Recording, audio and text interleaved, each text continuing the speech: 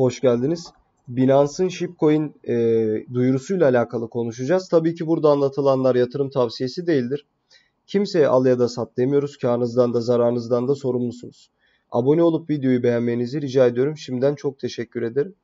E, Binance arkadaşlar Shiba'yı e, Liquid Swap'e listelediğini duyurdu. BUSD çiftiyle arkadaşlar Shiba'yı Liquid Swap'e listeliyor. Bu arada e, adı geçmişken söyleyeyim Doge'u da aynı şekilde listeleyecek. Şimdi Liquid Swap nedir?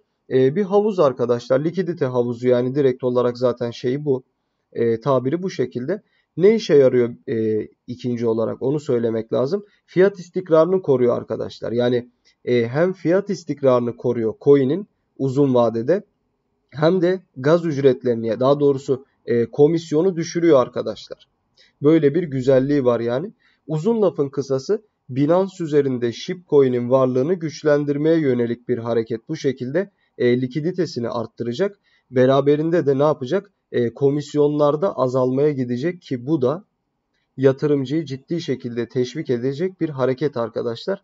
E, Binance'ın Shiba'yı Liquid Swap'e listelemesi oldukça büyük ve uzun vade için çok güzel bir haber.